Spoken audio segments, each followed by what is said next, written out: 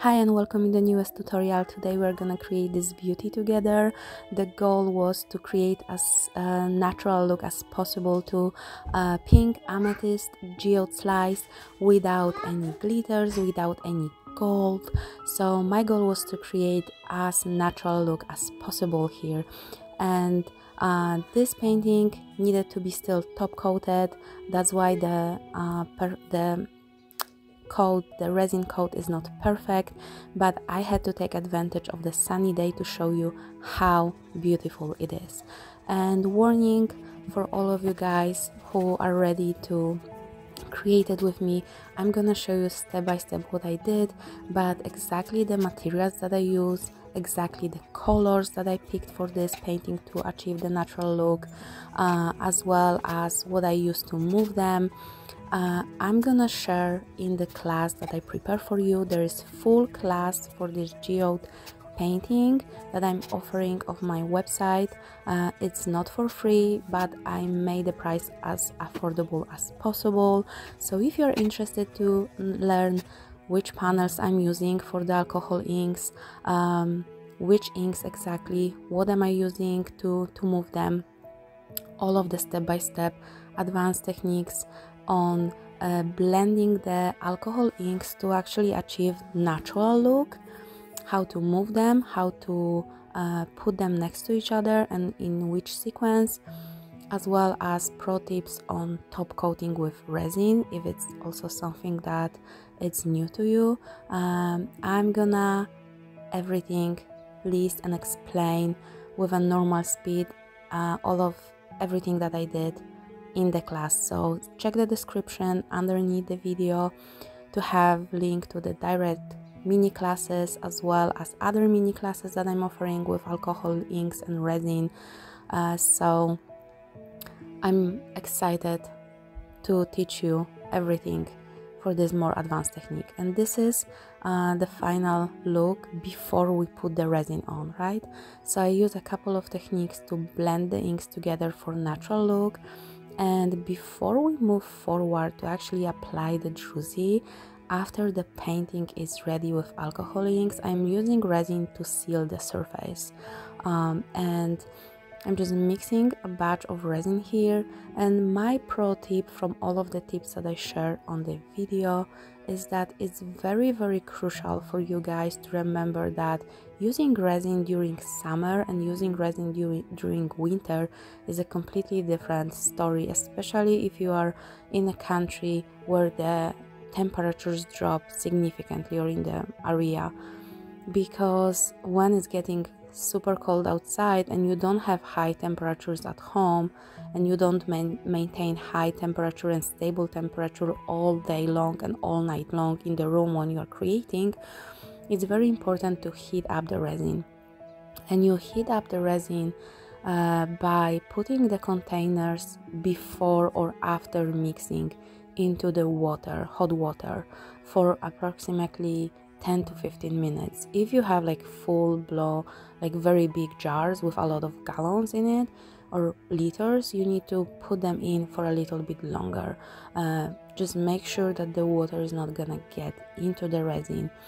Don't mix the resin too fast but make sure that everything is properly connected. Both ingredients part A and part B is connected very well because that's the difference between top coating with resin and creating some designs with resin.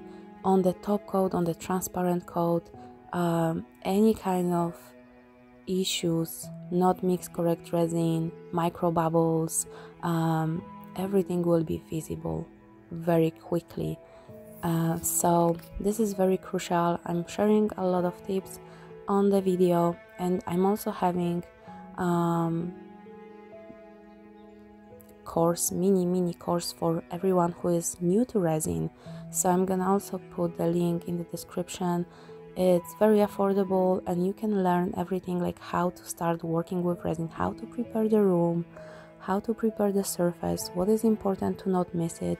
Because to be honest with you guys, resin is not very cheap medium and it's very crucial to make it right.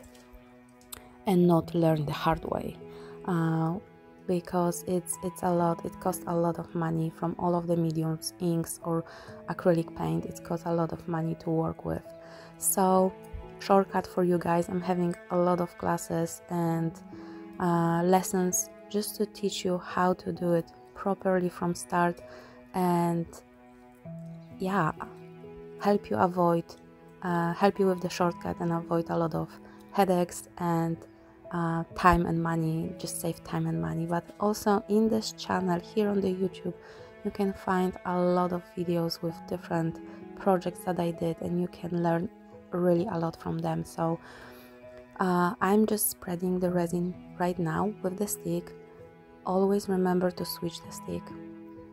I'm having a video about top coating uh, my five best tips on top coating. Always remember guys to switch the stick um, because the one that you used for mixing resin for 60% of chance or even more is that it's having particles of resin that is not properly mixed.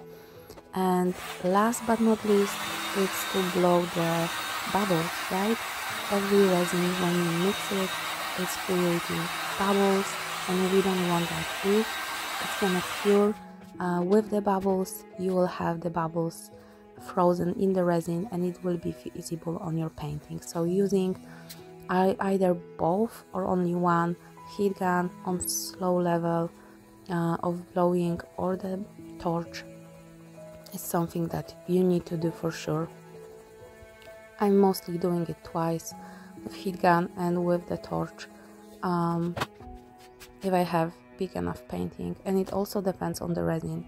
And here I put some structure underneath and I'm having a new batch of resin mixed. It's the next day. The previous coat is already cured.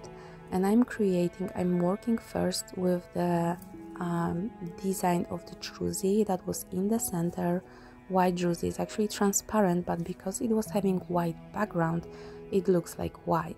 So I'm I created a texture underneath to have a little bit of lift in a couple of places and then I'm just applying small amount of resin on top before I move to the second um, phase.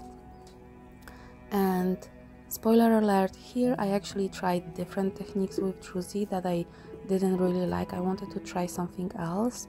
So that's why I actually messed up my surface because I needed to clean everything up I needed to scrape it and then um, it affected the the surface of resin. That's why I needed to top coat it. But if you are very gentle you can sometimes skip on top coating it again if you are very accurate and gentle after applying the druzy and after the druzy is cured you don't have to top coat it. If the area around the druzy is nice and clean. So always use baby wipes to clean the area that shouldn't be affected with resin. And you can use just very soft toilet paper to polish after wiping it out with baby wipes. And we're gonna look into creation the process of creation of druzy we are having diamond kiss here i'm sprinkling diamond kiss on the wet resin to apply um, the druzy uh, and to create this white druzy look.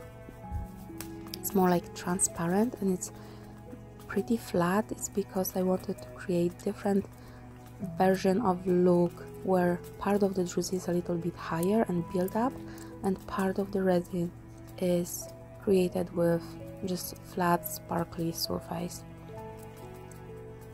It's like I was going for a look like you when you have spheres or when you have towels there is difference in the level of high, of the depth of some parts of the druzy so th that was the goal here creating a look that is similar to natural stone spheres uh, slices towers. Sometimes you need to go. I'm showing here that you can add some highlights in between. Just put it in there and allowing resin to just cure. I'm using here products from my druzy goddess line and i'm using here blush pink color. And I'm showing here that you can add you can just drop into the resin some highlights. My goal here was to create a nice united uh, and simple effect right? And now I'm showing you the Eidos blush this is the color from Goddess line that I used. I'm mixing it always with resin. Here you can see it. it's very pretty matte finish beautiful color but it's more like matte. It comes into completely it transitions to more clear and high gloss look when you mix it with resin and exactly form the formula that I'm using to mix resin with druzy I'm carrying uh, those proportions and all of the guidelines as well as the VIP training for working with druzy for everyone who purchased druzy for at least 60 euro at this moment. Uh, so for everyone who orders uh, for this amount of higher I'm adding a free bonus of training where you get a lot of training videos with tips of how to mix it properly, how to create beautiful highlights, uh, how to format, advanced tips of forming different levels of druzy, and many others videos. And I want to focus now here on the painting, but just to, for you to know if you decide to go with the same color as I do, uh, with the same products as I'm using from Druzy Goddess line. I'm gonna put the link in the description as well for this product so you can use the same look as i do. And you can also learn how i created it step by step with very advanced explanation uh, and detailed explanation. And first goal is to just drop a little bit of druzy along the lines that I drew with Posca pen for my guidance and just move it around. But fingers are not the best to move druzy around. I prefer to use bamboo sticks with sharp edges to form uh, the druzy and to make like work on the flow of the druzy here. And the goal is to i'm showing you that you can add also white color and this is how it's gonna look like um, it's nice I like it. I was contemplating to use white ambrosia, which is my signature flagship color, is the main color that I'm using in all of my creations, the white color. But the goal here was to create um, a painting that is not only close to the natural look, but also is showing you um, that you can work with just simple one color and you don't have to have other additions to create some beautiful design. And Diamond Kiss is also in the offer, those flakes that I put in the center just a couple of minutes ago to create the transparent white druzy, flat druzy. This is the Diamond Kiss and it's also, I just added it to my store for a limited time to just purchase separately.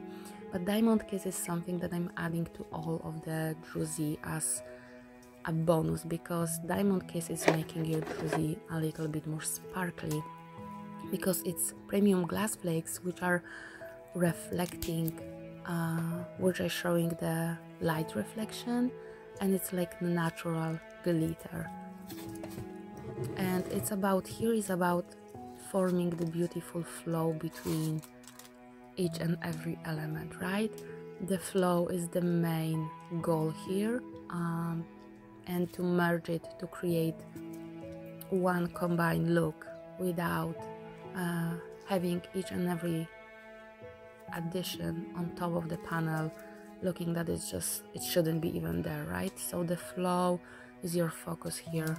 Take your time um, just you have if you use resin which is curing 12 hours you have easily even two hours to navigate the shape of the druzy and to work on it until it's gonna be too cured.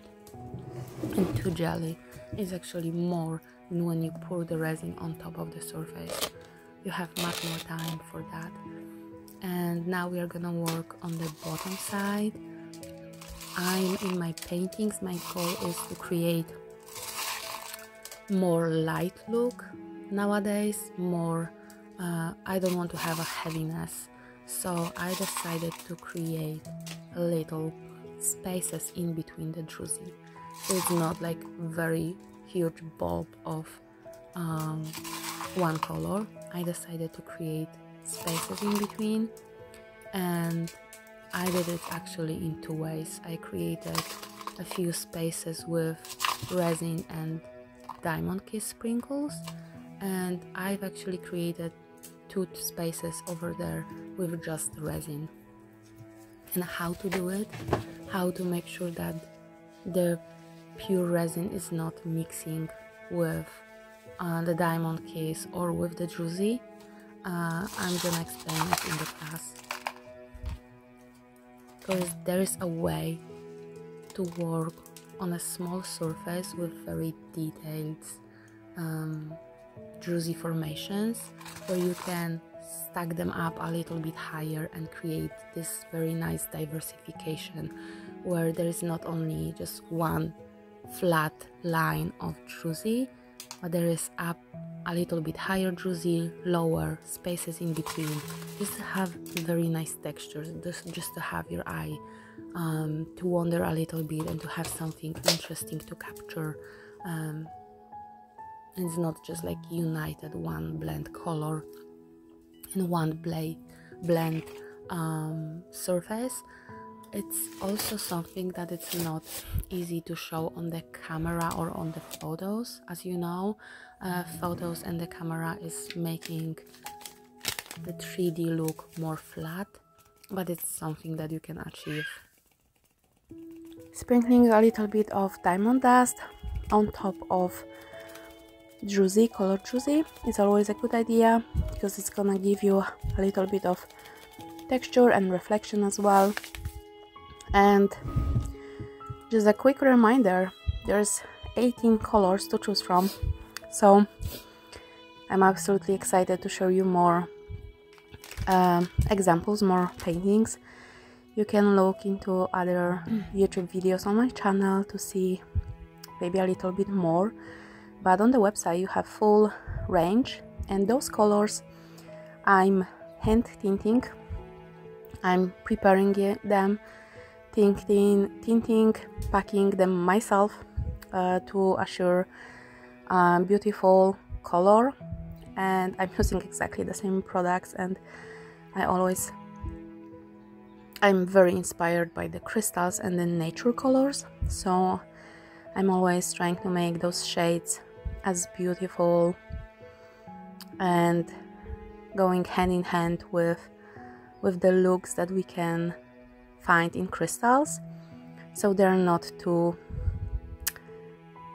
fake vivid vibrant and just like unnatural if that makes sense. But you can see all of them they always come to light and they transition into beautiful uh, high glossy um, transparent looks once you add the resin. And you can see now that I'm adding just a touch of resin somewhere in between. And those are the places and it's difficult because um, the druzy the wet druzy is still um, not hardened. So it's very easy to have things stick to your stick. And it's very easy to um, mellow all of the construction. Because the gravity is still working there and it's resin a lot of resin. If you apply too much resin it's gonna soften the construction and it's gonna blend and start to melt down. So that's something to look for but here I'm applying diamond kiss on those little areas uh, just to create a little bit correspondence in look between the upper part and the lower part as well.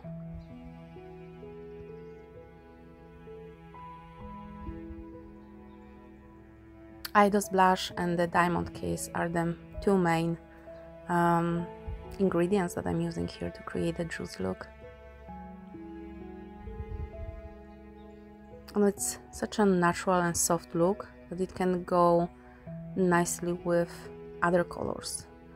Uh, like recently I'm also working on another painting where I'm using also some grays um, some browns like very cool browns and grays as well as grayish lavender. And I'm pairing it with the druzy in Hera's Dewdrops which is like grayish lavender bluebell kind of vibe. A very soft and muted but I'm just inspiring you here to try different color combinations different blends um, working with different shades right? Because very often when we see those spheres those towers those uh, more complex slices of geodes we see a little bit of different colors we see a touch of some grays browns even like citrine look uh, so very warm color. This solar activations or apollo's amber from the collection is also something that can go beautifully with pinks with violet color uh, with beiges. So this is something that i'm gonna look into it in the next weeks as well. I'm always um, happy to hear your opinion, so leave them in the comment. If you have any preferences about the uh, color from the Druzy Goddess line that I should be working on next, let me know. Color combinations.